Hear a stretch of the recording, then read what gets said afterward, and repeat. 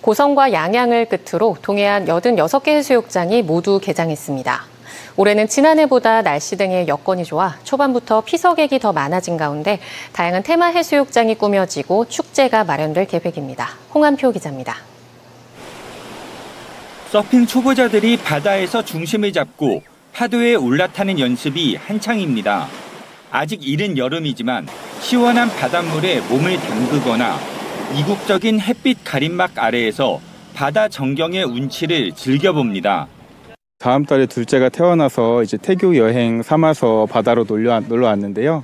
첫날이다 보니까 사람도 많지 않고 또 물도 너무 맑아서 고성과 양양 지역의 해수욕장이 일제히 문을 열었습니다.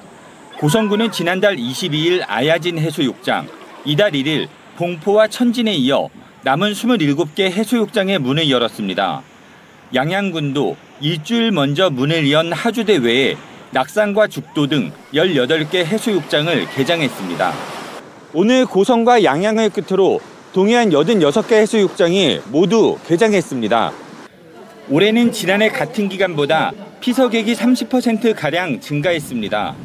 강원도 동해안의 날씨가 상대적으로 좋았고 코로나19의 영향도 크게 벗어났기 때문으로 분석되고 있습니다.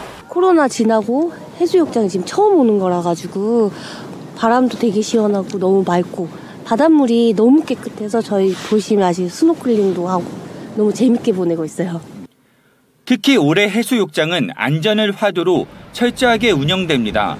안전요원을 약 600명 가량 배치하고 경포와 속초 해수욕장은 매주 방사능 검사를 실시합니다. 속초, 양양 낙산, 강릉 경포, 동해 망상 등 동해안 4대 해수욕장은 실시간 이안류 감시 시스템을 운영하고 8개 해수욕장은 혹시나 모를 상어나 해파리 출몰에 대비해 방지 그물망을 설치했습니다. 피서객들이 다양한 볼거리와 체험을 경험할 수 있도록 다양한 해변 축제를 마련하고 장애인 해변, 반려동물 해변 등 특색 있고 차별화된 해수욕장도 마련됩니다. 해수욕장마다 이제 마을에서 이제 운영을 하게 되는데 마을 특색에 맞는 축제를 이제 여러 가지 구성하고 있고요. 어, 양양에 찾아오는 관광객들을 위해서 마을 주민들과 행정에서 열심히 노력할 계획입니다. 또 올해 개장하지 않는 해수욕장에도 피서객들이 일부 몰릴 것으로 예상해 안전 요원을 배치해 물놀이 사고를 최소화하겠다는 계획입니다. MBC 뉴스 홍한표입니다.